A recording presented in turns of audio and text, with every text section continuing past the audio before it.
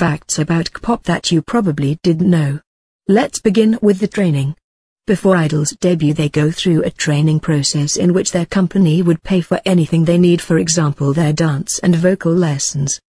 But did you know that if the trainee drops out before the training is over then they have to pay back all the money that went into their investment back to the company? Another thing is that a lot of these idols are scouted at the strangest of times. Minho of SHINee was scouted whilst he was at a ski resort but he kept declining. He was then followed home by an SM manager until he accepted their offer. Also another weird reason an idol accepted an offer is Taehyun of TXT. He was scouted by many companies and chose Big Hit because it was closer to his house. It was not the first time Chen Lan Sung had met in training days. They had met in China when they were both younger even before they debuted in the group. When thinking of a group name all idols want their group name to be good, catchy and memorable. Can you believe Mamamoo nearly debuted as Belly Button? When we were all children I am sure we all did odd things. Don't worry you are not alone.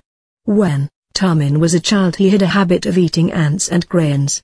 TXT Soobin after applying for Big Hit, he had come to the conclusion that he probably didn't make it as he hadn't get a call from them.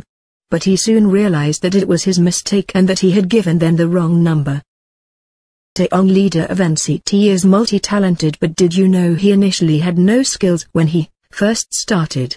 The reason that he went to the SM audition was because they bought him bread. Out of all these recruitment stories I think this one is by far the most unexpected one.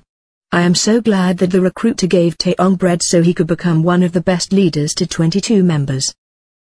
We all know by now that some companies have a dating ban. Most idols are not allowed to date until they turn 29 this is because companies want to preserve the idol's images, as a lot of the time relationships end up in scandals which are said to reflect badly on the company. If you thought this was bad, idols are not paid until they are cleared of all debt. This is a terrifying thing as if they are not earning money how are they going to pay off their debt?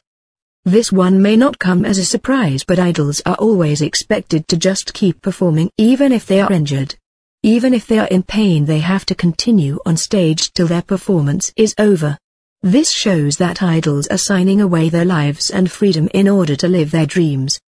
Don't worry not all of it is bad this, only truly depends on the entertainment company that the idol is at. Some companies allow their idols to have more say on their own lives. Which one of these facts did you already know and which ones shocked you the most? That's all for now.